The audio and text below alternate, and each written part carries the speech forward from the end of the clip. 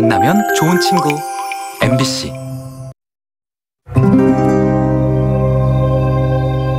아름다운 도시 파리 전능한 신의 시대. 때는 1482년 욕망과 사랑의 이야기. 우린 무명의 예술가 제각각의 작품으로 이 이야기를 들려주려 해 훗날의 당신에게 성당들의 시대가 찾아왔어 이제 세상은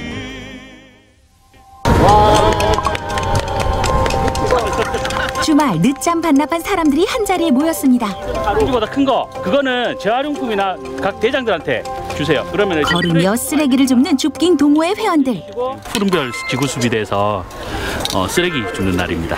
푸른, 푸른별 지구수비대 편한 복장에 환경을 아끼는 마음만 있다면 누구나 지구 수비대.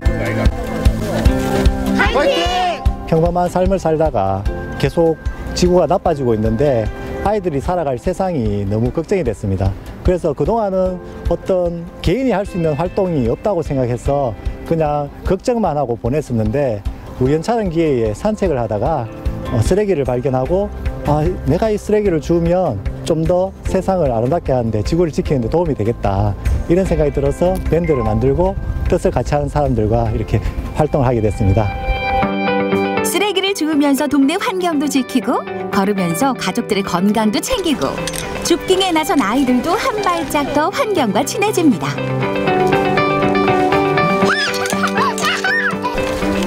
쓰레기 담고 또 쓰레기 담고 스담스담 참 잘했어요.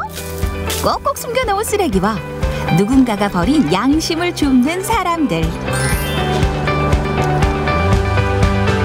환경을 살리고 지구를 지키는 일은 그리 거창하지 않습니다. 이렇게 작은 실천에서부터 시작되죠.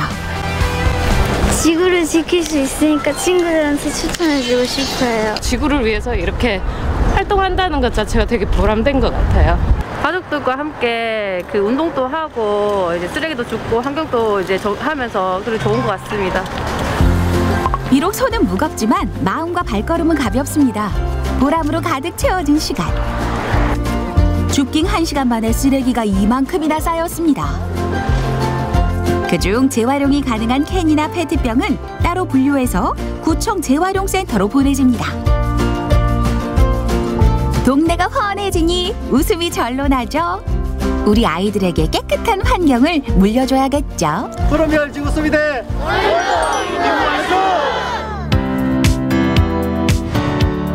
슬기로운 친환경 생활의 또 다른 방법은 쓰레기를 최대한 만들지 않는 것.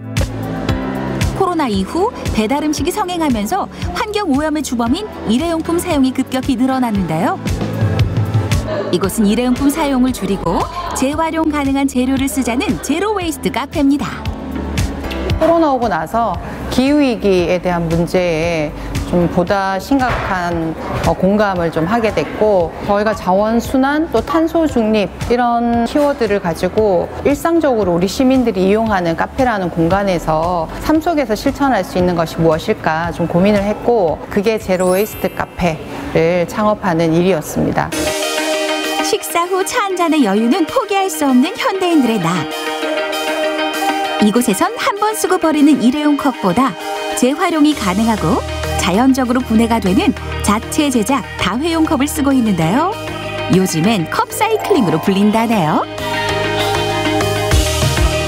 간편한 일회용 컵 사용을 줄이는 일이 말처럼 쉽진 않지만 조금만 용기를 낸다면 환경과 친해질 수 있습니다.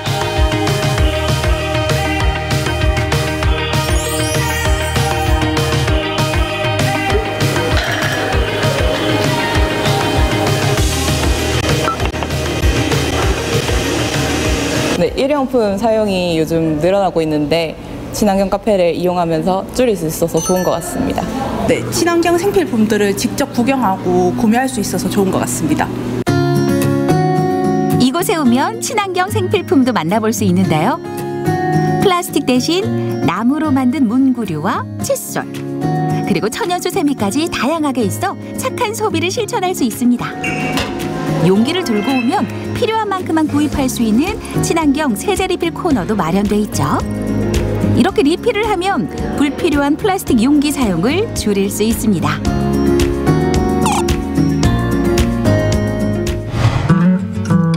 고물이 보물로 재탄생되는 것. 버려진 가구로 만든 안내 데스크부터 눈길을 끄는데요. 쓸모없을 거라 여겨졌던 폐자재에 새로운 가치를 더한 제품들이 한가득. 리사이클이 버려진 것을 재활용하는 것이라면 업사이클은 버려진 것을 재활용한다는 의미. 업사이클은 재활용, 재사용 가능한 그런 소재를 무분별하게 버리지 않고 자신만의 디자인, 자신만의 기법을 활용해서 새로운 작품으로 만들어내는 재활용이라고 합니다. 우리 센터는 upcycle에 관심 있고 제품을 생산하기 원하는 upcycle 기업을 발굴하고 상품 개발부터 홍보, 판로 개척까지 다양한 방법으로 지원해주고 있습니다. 시민들의 upcycle 문화 확산을 위해 만들어진 이 공간에 부디 많은 시민분들이 찾아주셔서 조금 더 upcycle 문화가 많이 확산되었으면 좋겠습니다. upcycle에 관심이 있다면 누구나 참여할 수 있는 one-day class. 오늘은 버려진 조화를 재활용해 볼 예정입니다. 축하 화환이나 헌화용으로 많이 사용되는 조화의 소재는 대부분 플라스틱. 특별한 기념일에 제 임무를 다하고 나면 처치곤란, 골칫거리죠. 시들지도 썩지도 않는 조화로 과연 어떤 제품을 만드는 걸까요? 그래 살짝 단색으로 훨씬 이쁘다. 오, 그지? 이야 이쁘네. 단색으로는 훨씬 이쁘다. 아 단색 이쁘네. 서로의 아이디어를 칭찬해가며 만든 제품은 야, 그 당, 당금주 같다, 당금주. 조화 잎으로 포인트를 살린 볼펜. 알록달록 각자의 개성이 묻어있는 업사이클 굿즈입니다. 평소 업사이클링에 대해서 되게 관심이 많았는데요. 어, 이런 강좌를 통해서 다양한 소재로 나만의 작품을 많이 만들어 보고 싶습니다. 어, 플라스틱 조화들이 그냥 사용되고 버려지는 경우가 많은데 이렇게 업사이클링을 통해서 유용한 물품들을 만들어서 계속 실생활에 활용할 수 있어서 너무 좋았던 것 같습니다. 조화롭게 만든 볼펜 여러분도 업사이클링에 도전하세요. 환경을 지키는 일은 거창하지 않습니다. 버리지 않고 줍고 일회용품 사용을 줄이고 폐자재를 활용하고 매일 조금씩만 실천하면 지구의 내일이 행복해지겠죠.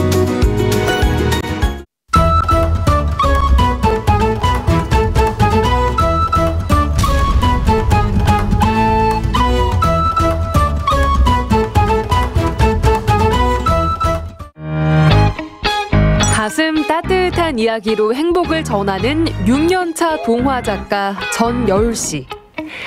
그녀는 복잡한 도시에서의 생활을 뒤로하고 고흥으로 향했습니다.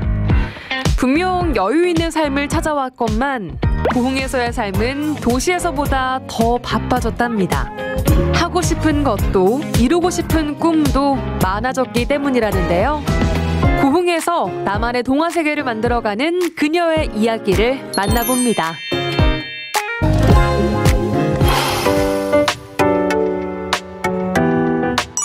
다도해의 절경을 품은 고흥. 산이면 산, 들이면 들. 넉넉한 자연이 내어주는 아름다움에 최근 고흥으로 귀농 귀촌을 하는 이들이 늘고 있다는데요. 한적한 시골 마을을 떠들썩하게 만들고 있는 청년 전여울 씨 또한 1년 전 고흥으로 귀촌했답니다. 그래서 이번에 여성 농업인 기술인 센터도 취재해야 되고 근데 저는 이거는 약간 글을 써 이렇게 달라고 하면 약간 조금 부담스러워 하실 것 같고 인터뷰 예, 이쪽으로 이렇게 하려고 그래서 질문지 짜가지고 좀 연락을 드려보는 식으로 이진우 화가라고 아세요? 어 일러스트 좀 느낌 나게 그리시는 분? 고흥에서 뭐 이런저런 작업을 많이 하는 것 같더라고요. 음. 주로 지역의 벽화 작업부터 해가지고 농민회가 한참 좀 활발하게 이루어졌을 때 그때 막 걸개 그림도 그려주고 음. 그런 작업을 했던 그러면은 이분도 다음 호에 한번 실어보는 것도 좋지 않을까. 동화 작가에서 기자로 변신한 걸까요?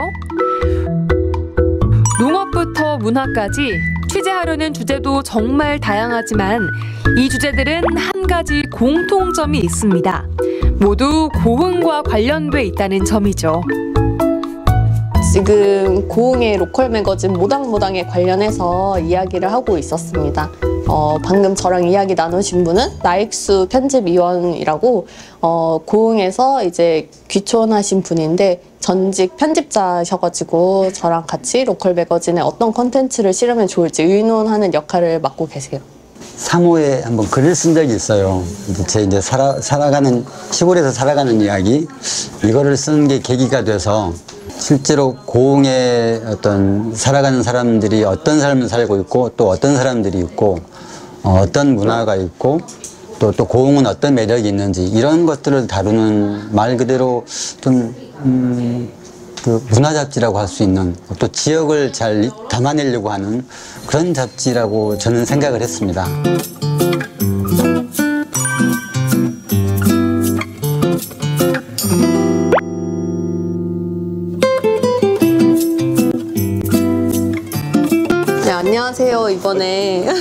모당모당 매거진 취재차 이렇게 오게 되었는데요. 카페가 너무 예뻐가지고 이거를 매거진에 담아보면 너무 좋을 것 같아가지고 이렇게 사장님한테 연락드리고 찾아뵙게 되었습니다. 감사합니다. 카페가 너무 예쁜데 어떻게 이거에 카페를 차리실 생각을 하셨는지.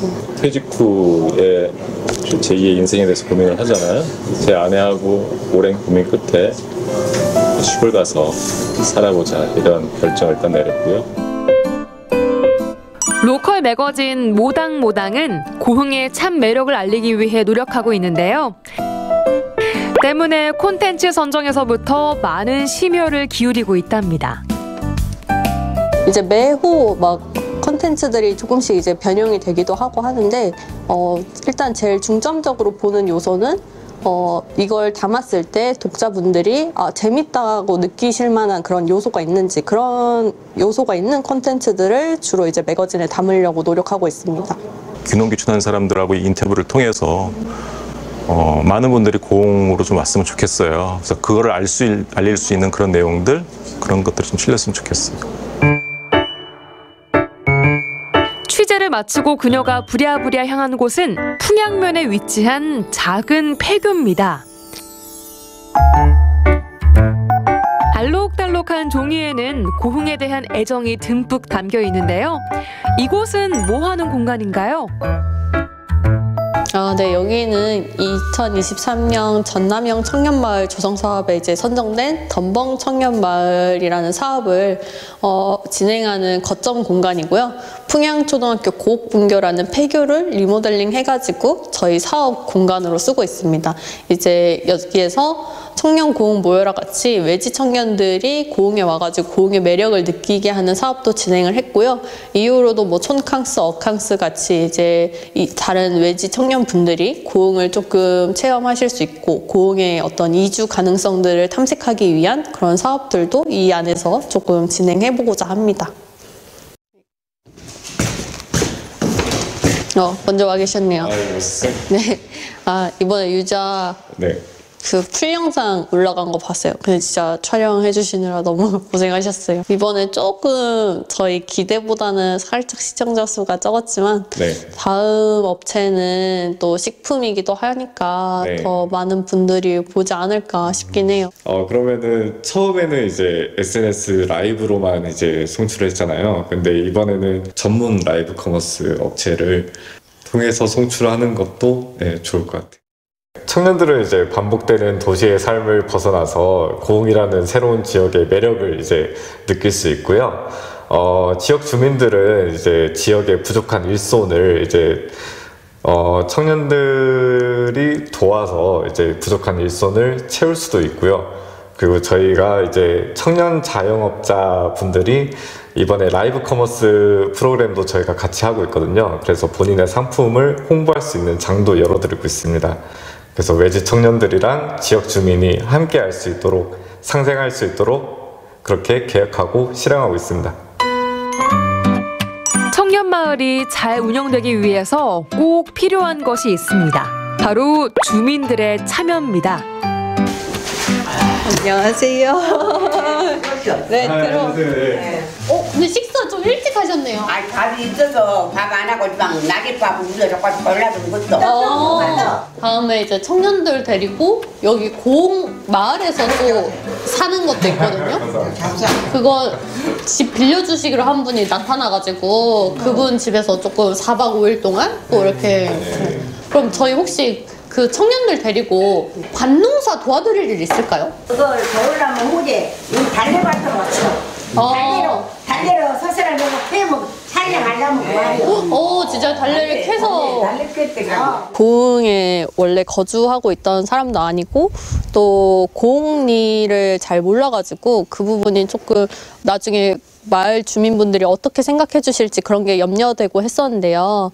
어, 막상 여기 와보니까 어, 어머님들이 너무 반겨주시고 인사도 너무 잘 받아주시고 하셔가지고 그런 걱정되는 것들이 많이 사라졌다고 말씀드릴 수 있을 것 같습니다. 취재하랴, 청년마을 준비하랴, 누구보다 정신없는 하루를 보낸 여울 씨.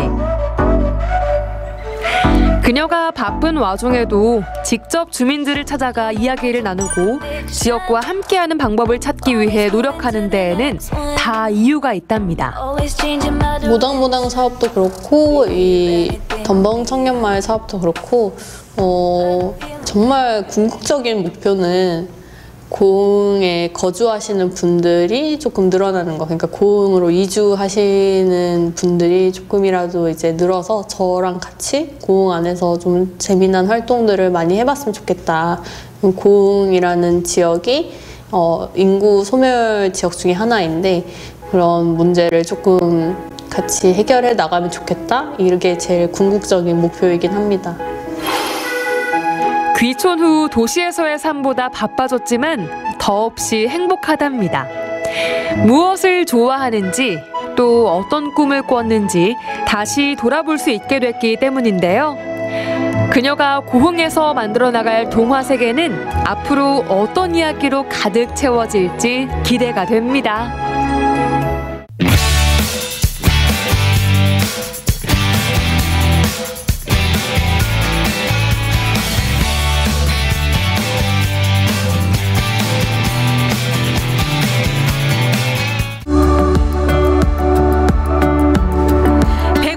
전 3월을 기억하기 위해 울산에서 특별한 행사가 열렸습니다. 울산을 대표하는 독립운동가 부부의 아들인 박진수, 박진환 형제 작가의 첫 합동 전시회 지금 만나봅니다. 울산 동구에 위치한 문화예술복합공간 문화 공간 방어진에서 지난 3월 7일부터 고향의 봄을 주제로 전시회가 열리고 있는데요. 이 작품들은 울산을 대표하는 항일 운동가 고 이효정 박두복 부부의 아들 박진수 박진환 작가 형제들의 작품이라고 합니다. 이번 전시는 독립운동가 후손인 박진수, 박진환 두 화백을 자신들의 고향인 이곳 울산 동구로 초청해서 여는 전시입니다.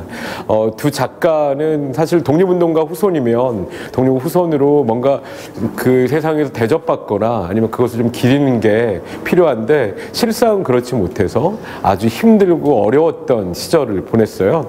또 그랬던 마음의 미안함과 또 독립운동에 대한 기억들 그것들을 바라는 마음으로 저희가 초청을 해서 전시를 열게 됐습니다.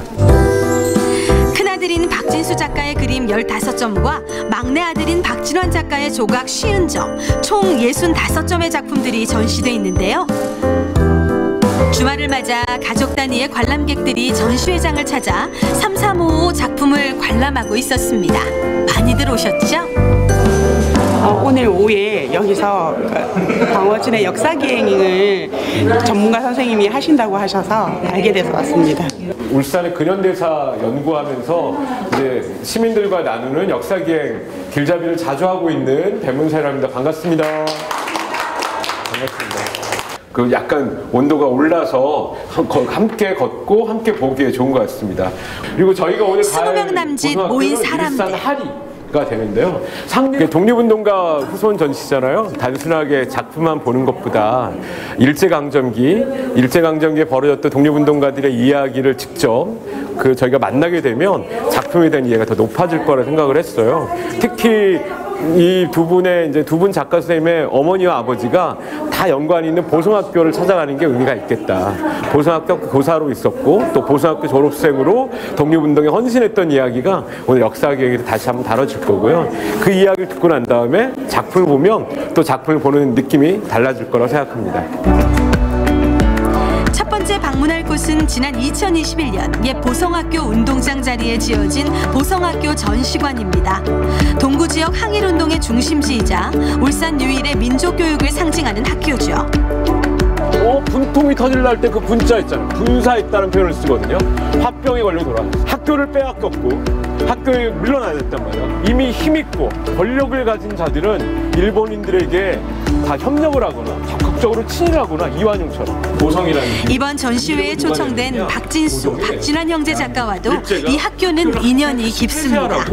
어머니 이호정 선생은 보성학교에서 학생들을 가르치셨고 아버지 박두복 선생은 이 학교의 졸업생으로 알려져 있습니다.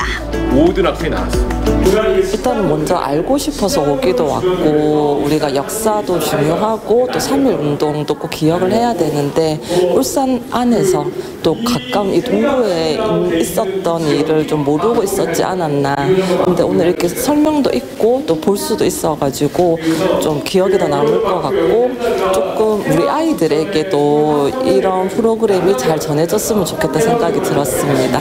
그 옛날부터 여기 학교가 있고 또 그 학교의 그 선생님들이 얼마나 여기 울산 동에 열심히 노력했는지 알 수 있었던 것 같아요.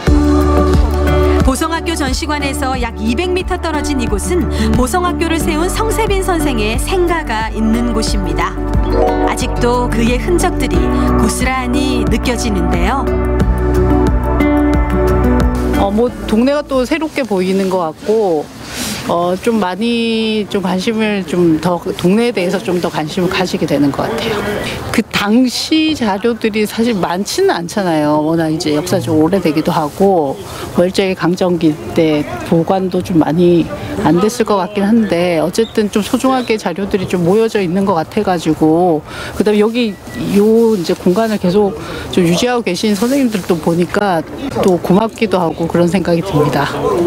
국가를 위해 가지고 문대지가 놀러가는 우리 할아버지에게 진짜 돌아가셨지만 음? 그 그런 할아버지가 없었습니다. 예. 저에게 저희 좀 너무너무 감사하던 왜 그래요? 감사합니다. 지역에 있는 독립운동가들의 어떤 그 어, 존재 이런 것들 지역에 있는 사람들이 먼저 알아야 될 것 같다는 생각이 먼- 먼저 들고요. 어, 많은 그 동구에 있는 주민들이 우리 지역에 이렇게 자랑스러운 독립운동가가 있었다는 사실을 상기해줬으면 좋겠습니다. 울산뿐만 아니라 대한민국에 살고 계신 그 독립 후손가들의 이제 삶에 대해서 이제 쓴 기사를 우연히 한번 본 적이 있었는데 어, 그 기사를 보고 또 오늘 이런 이제 역사 기행까지 함께 하니까 정말 참 대한민국에서 아직도 해야 될 일들이 많이 있구나라는 것들을 좀 많이 느꼈습니다. 저 우리 이거는 우리 동네의 이야기잖아요. 울산에서 이렇게 많은 분들이 어, 우리 조국을 위해서 함께 싸우신 분들을 다시 한번 생각하는 이런 자리들이 좀 자주 있었으면 좋겠다라는 생각을 했습니다. 짧은 시간이었지만 모두 오늘 하루 느낀 게 참 많았던 시간이었습니다. 이게 독립운동을 기억하고 하는 거는 그저 과거를 그냥 아는 것을 넘어서는 것 같아요. 이게 독립운동에 그랬던 마음이 바로 현재까지 이어지면 또 우리가 앞으로 나아갈 길에 대한 새로운 나침판이 되거든요. 뭔가 또 좀 보다 정의롭고 또 보다 대한민국 발전을 바라는 마음들도 그 안에 담겨 있는 것 같습니다. 과거에 대한 고마움 그리고 미래에 대한 저희들의 약속 그게 함께하는 역사기행 또 이런 순서 시간들이 계속 이어졌으면 좋겠습니다.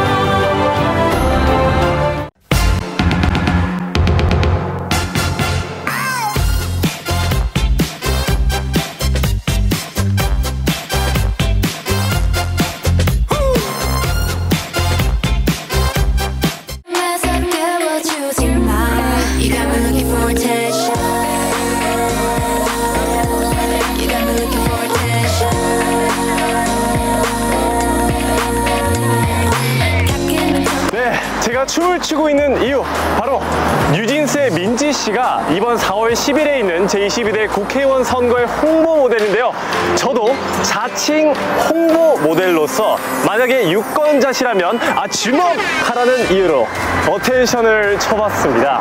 네, 이번 22대 국회의원 선거에는 좀 달라진 점들이 있다고 하는데요. 함께 만나러 가보실까요? attention, attention.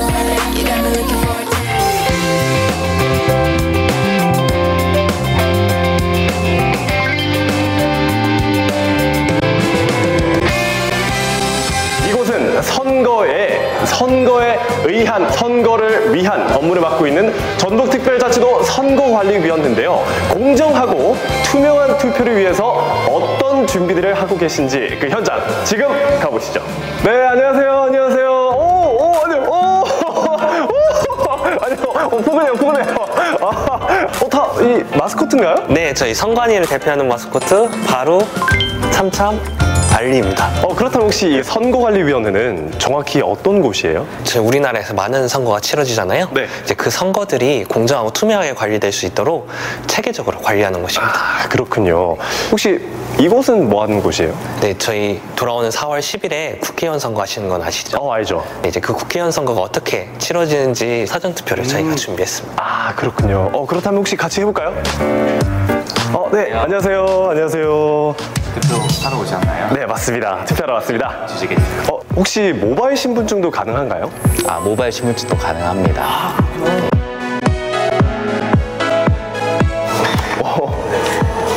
이렇게 나오네요. 투표용지가 두 장인데 또 한 장 무엇이에요? 네, 보통 국회의원 선거를 하시게 되시면은 투표용지를 두 장 받으시는데요. 네. 지역의 국회의원 대표를 뽑는 지역구 음. 국회의원 선거 투표용지고요. 비례대표 국회의원 투표용지입니다. 아, 네. 이제 보통은 두 장을 받는데 네. 이제 저희 지역 같은 경우는 이번에 재보궐 선거가 있어요. 아, 네, 그래가지고 전주시 완산구 그리고 장수군의 일부에서는 투표용지를 세 장 받으십니다. 아, 세 장 받는구나. 네. 어, 제가 보니까 뭔가 투표용지가 전과 달라진 것 같은데 뭐가 달라졌나요? 잘 보셨네요. 네. 저희 아래 보시면은 이제 일자형 바코드로 음. 이렇게 생겼잖아요. 네. 전에 사전투표용지에서는 저희가 QR 코드로 운영을 어, 네. 했었어요. 네. 근데 뭐 QR 코드에서 일자형 바코드로 바뀌어도 사실상 기능은 똑같이 하는 건데요. 이제 워낙 부정선거 의혹을 제기하시는 분들이 QR 코드에 대한 어, 의혹을 많이 제기하다 보니까 그런 소모적인 논쟁을 저희가 끝내기 위해서 음. 바코드로 바꿨습니다. 알겠습니다. 어, 그렇다면 저 이제 투표 한번 해보면 될까요? 저쪽으로 가보시겠어요? 네. 기표소 내에서 는 촬영이 안 된다는 점 명심하셔야 돼요.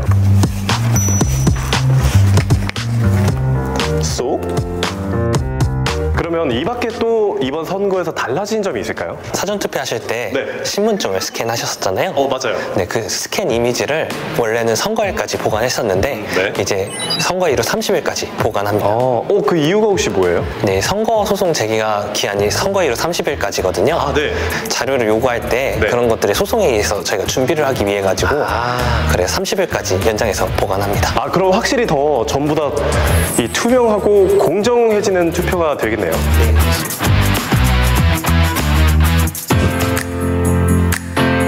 안녕하세요. 안녕하세요. 네. 원주군 선거관리위원회 오신 걸 환영합니다. 아, 네, 반갑습니다. 아, 제가 들어보니까 이 공명정대한 제22대 국회의원 선거를 위해서 이 사전투표함 보관 방법에도 좀 달라진 점이 있다고 하는데 혹시 무엇일까요? 네, 어떤 점이 달라졌는지 안쪽에 가서 한번 확인해 보실까요? 네, 여기, 오, 이런 공간이 있구나. 네, 여기가 사전 투표함 보관 장소인데요. 여기 한번 열어보시면 이렇게 돼 있고 여기 CCTV가 설치돼 있어요. 어, 그렇구나. 아, 지금 여기 안이 보이는 거예요? 네네. 아, 보이시나요? 제가 혹시라도 이렇게 침입을 하면 다 볼 수가 있습니다. 언제든지 상황 확인이 가능하고요. 원하시면 누구든지 청삽 대형 모니터를 통해서 일반 시민분들도 확인 가능합니다. 어, 그럼 그냥 지나가면서도 다 보인다는 말씀이시죠? 네네, 언제든지. 아, 그렇구나. 오.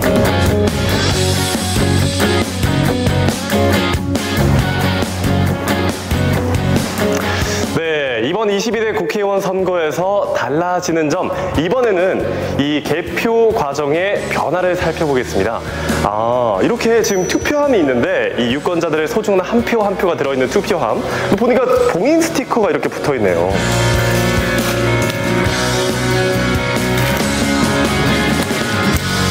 와, 아, 드디어 봉인됐던 투표함이 열렸는데요.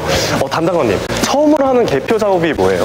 네, 일단 투표지를 가지런히 정리해서요. 지역구 선거 투표지와 네. 비례대표 선거 투표지로 구분하게 됩니다. 어, 정리된 투표지를 이쪽 투입구에 이제 꽂아주고요. 네. 여기에서 이제 분류 버튼을 누르게 되면 예. 이제 후보자별로 분류가 됩니다.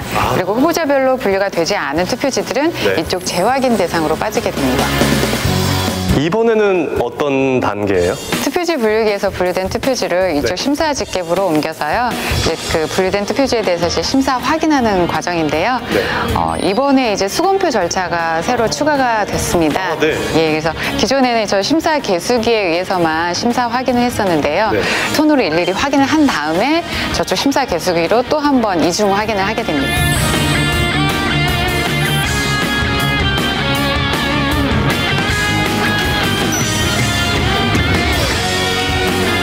시간이 조금 더 걸리겠지만 이중으로 확인하니까 더 정확도가 높겠네요. 어, 그럼요. 예, 더 정확하기도 하고 그리고 이제 분류기로 분류된 값이 이제 정확하지 않았던 것은 아니기 때문에 예, 더 신뢰성이 제고됐다고 보시면 되겠습니다. 한 번 더 확인을 완료했습니다. 어, 근데 정말 분류기가 정확하네요. 오류가 하나도 없습니다. 이번 선거부터 이 분류기도 좀 달라진다고 들었는데 어떻게 달라지나요? 이 분류기의 경우에 네. 인터넷 연결을 차단하기 위해서 무선 랜카드가 제거되었고요. 네. 그리고 인가된 USB만을 사용할 수 있도록 매체 제어 프로그램이 적용되었습니다. 외부로부터의 그 해킹 가능성을 완벽하게 차단하였습니다. 아, 그럼 전부 다 확실히 더 안전해진 거네요. 네네. 어, 모든 개표가 종료 된 후에는요, 예, 투표지 분류기를 어, 봉인하거든요. 이렇게 봉인하게 이제 되는 이유는요, 투표지 분류기에 저장된 그 투표지 이미지를 별도 저장 매체에 저장을 하고 어, 원본 데이터는 여기에서 삭제를 해왔습니다. 아, 그런데 이제 이번 선거부터는 그 원본을 삭제하지 않고 당선인의 임기 동안 그대로 이 분류기 안에 보관하게 됩니다. 당선인의 임기 동안 예, 예. 아, 정말 보안이 강화됐네요. 전보다 그렇죠? 네, 어, 신뢰도도 높아지고요. 네. 공정하고 투명하고 국민이 신뢰할 수 있는 선거 선거관리위원회가 책임지겠습니다. 이번 4월 10일에 치러지는 제21대 국회의원 선거 온 국민이 신뢰할 수 있는 공정하고 투명한 선거를 위해 투표 개표 과정에 개선반이 마련됐는데요. 네, 선거를 민주주의의 꽃이라고 하죠. 이 온 국민의 소중한 한표한 표가 잘 관리돼서 네, 민주주의의 꽃이 잘 피길 기대하겠습니다. 2024년 4월 10일 국회의원 선거 꼭 투표하세요.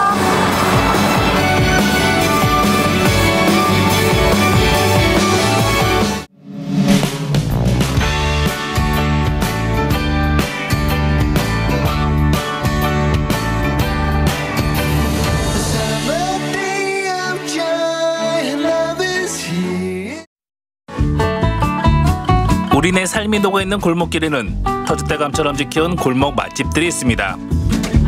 언제 찾아가도 반갑고 푸근한 맛. 보령 봄바다에서 만나볼까요?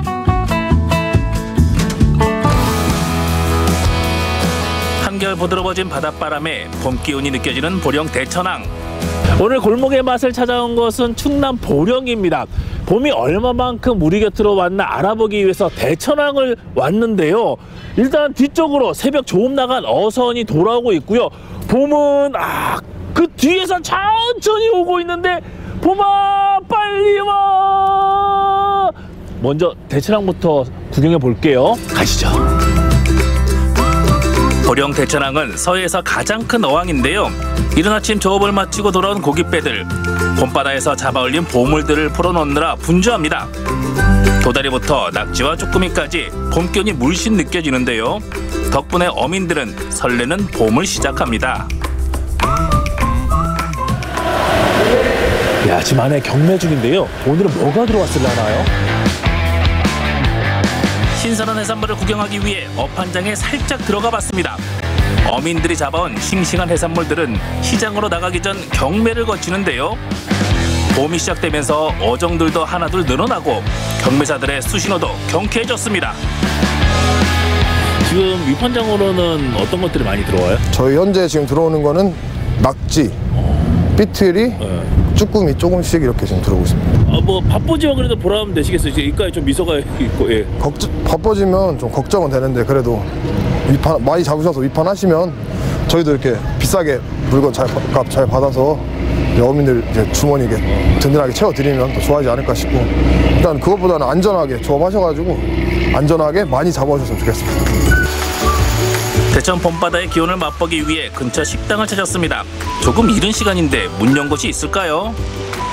안녕하세요. 안녕하세요. 지금 오픈했나요? 네. 문을 일찍 여시나 봐요. 네, 9시에 열고 있습니다. 왜 이렇게 일찍 시작하시는 거예요? 손님들이 많이 찾으셔가지고요. 일찍 열고 있어요. 아, 아침 식사로 오시는 분들도 많으신가 봐요. 네. 생선구이가 주 메뉴라는 이 식당. 매일 아침 사장님은 오늘의 생선을 칠판에 적는다고 합니다. 지금 쓰신 게 오늘의 메뉴라면 철마다 조금씩 달라지는 거예요? 네, 철마다 조금씩 달라지고 있어요. 오, 어떻게 달라져요? 3월 달에는 도미 나가고 4월 달에는 우럭, 음. 삼치, 가자미 뭐, 뭐 7월 달에는 전어 이렇게 제철마다 조금씩 다르고 있어요. 생선들도 나오는 시기가 조금씩 다르니까 네. 그 먹고 싶다 해서 먹는 게 아니네요. 그렇죠. 자, 오늘은 도미, 박대, 고등어, 가자미. 네. 철마다 달라지는 생선구이 현지에서 맛보는 호사인데요. 밑반찬에서도 봄바다의 맛이 느껴집니다. 야, 어, 반찬 종류도 많네요. 네, 이거는 봄에 나오는 봄나물이고요. 네. 이거는 가자미 말려갖고 졸인 거고, 아. 이거는 톳이에요. 뭐 메인 메뉴 나오기 전에도 이 정도면 밥 한 공기 뚝딱이죠. 그렇죠. 음, 밑반찬도 신경을 많이 쓰셨나 봐요. 네. 밑반찬에 밥 한 공기, 그다음에 생선구이에 밥 한 공기, 잡탕에 한 공기. 세 공기는 뭐가 겠어요? 네. 오늘 제가 나를 제대로 잡았습니다. 상큼한 봄나물 밑반찬으로 먼저 입맛을 돋워봤는데요. 그런데 이것은 시작에 불과했습니다. 괜스레 나른해지는 이 봄을 확실하게 깨워줄 시원하고 향긋한 도다리 쑥국 대령이요. 저희가 잡탕을 주문했잖아요. 짬뽕처럼 이것저것 막 넣고 끓이는 건 줄 알았는데 이거는 도다리 쑥국 아닌가요? 육지의 봄과 바다의 봄이 한데 어우러지는 도다리 쑥국. 봄 기운이 솔솔 피어오릅니다. 봄철 한정 메뉴이자 사장님의 특급 서비스죠. 잡탕은 여러 가지 넣고선 끓인 건데 기본 한 세 가지는 들어가요. 이제 꽃게하고 아구 꼬리하고 도다리 같은 거 들어가는데 오늘은 도다리 쑥국을 해였어요. 그래갖고 경매장에서 바로 받은 것을 제공해 와서 지금 오늘은 끓였습니다. 이어서 오늘의 주인공 생선 구이가 등장합니다. 네 종류의 생선이 넓은 그릇에 담겨 나오는데 노릇노릇 구워진 빛깔을 보니 벌써 군침이 도네요. 아, 어머, 야, 고맙습니다. 눈을 뗄 수 없는 이 비주얼 보이십니까? 기름이 쏙 빠져서 더 바삭해진 생선구이 한 상인데요. 네 종류의 생선이 먹음직스럽게 담겨 있습니다. 비주얼만으로도 입맛 사로잡기 성공입니다. 오늘의 메인 메뉴 생선 구이도 도착을 했는데 사종이고요. 야, 요게 가자미이고 이거는 서해안에서만 먹을 수 있다는 그 박대 서청과 군산 지역에 유명하죠. 그리고 고등어에다가 이게 도미. 하지만 설명 들으셨죠? 이 시기에만 먹을 수 있는 생선들 철마다 조금씩 달라집니다. 랜덤이고요. 잡탕도 마찬가지예요. 오늘은 제대로 걸렸네. 도다리 쑥국이 나왔어요. 그런데 생선구이를 담은 그릇이 좀 독특하더라고요. 뚝배기처럼 열기가 느껴지는 도자기 그릇입니다. 그릇이 용기가 특이하네. 그렇죠. 이뭐 항아리 뚜껑 같기도 하고. 아, 어, 왜 여기다 담아주는 거지? 이게 뭐지 이게? 항아리 뚜껑인데요. 이제 드실 때까지 식지 않게끔 이제 식어버리면 약간의 비린내가 날 수도 있고 그러니까 다 드실 때까지 이제 따뜻하게 드실 수 있게끔 해드리는 하고요. 손님들한테. 그럼 봄바다의 맛을 제대로 느껴볼까요? 향긋하고 시원한 도다리 쑥국 새봄을 느끼기엔 그만이죠. 설레는 마음을 감출 수 없습니다. 올봄 처음으로 먹어보는 쑥입니다. 음. 야, 이제 봄이 찾아온 것 같네요. 와. 그리고 오늘의 밥도둑 입장 완료. 제철 맞은 가자미부터 발라 먹었는데요. 통통하게 살이 올라 식감도 좋고 고소한 맛이 일품입니다. 오, 음, 어, 가자미 구이.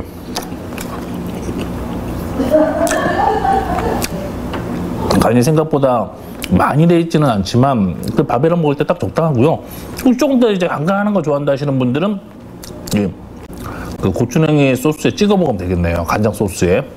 야, 그럼 이 생선들 다 어디서 가져온 거지? 아, 신랑이 중매인인데 이제 수협에서 중매하는 걸로 해갖고 도미랑 우럭이랑 가자미랑 뭐 박대 같은 걸로 해가지고 제공하고 있어요. 3월 달에는 도미가 나가고요. 4월 달에는 우럭, 5월 달에는 뭐 삼치, 가자미, 뭐 7월 달에는 이제 전화, 전어, 제철마다 그렇게 조금씩 바뀌고 있어요. 본격적으로 생선구이를 즐겨볼까요? 부드럽고 담백한 이 맛, 제철 봄바다의 기온을 느끼기엔 그만이죠. 짭조름한 매력에 밥이 술술 들어갑니다.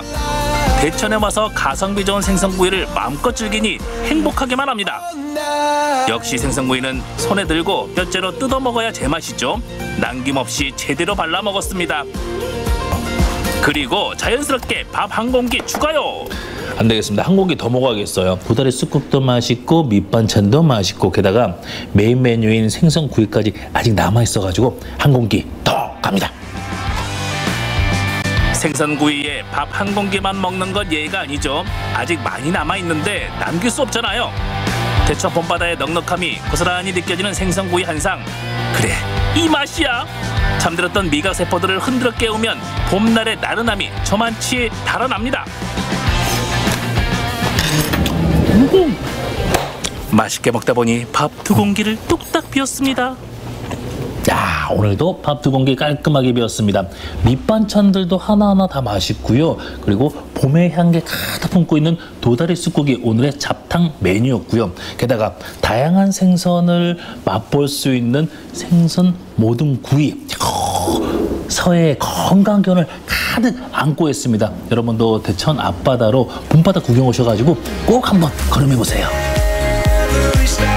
바야흐로 서해에도 새봄이 찾아왔습니다. 이른 아침부터 생동감이 넘치는 보령 대천항 봄바다의 활력과 시원함이 느껴지는 곳이죠. 그리고 향긋한 도다리 쑥국과 제철 생선으로 차린 생선구이 한상. 맛은 기본, 가성비까지 좋아서 두 배로 더 든든해지는데요. 우리 곁에 성큼 다가온 새봄 생선구이 한 상으로 봄 기운을 충전해 보시면 어떨까요?